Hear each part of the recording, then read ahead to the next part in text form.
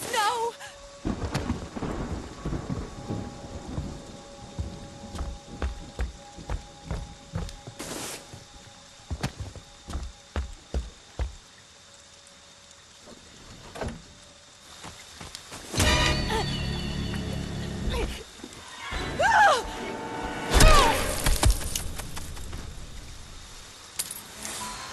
Sorry, Powerball's way ahead of you.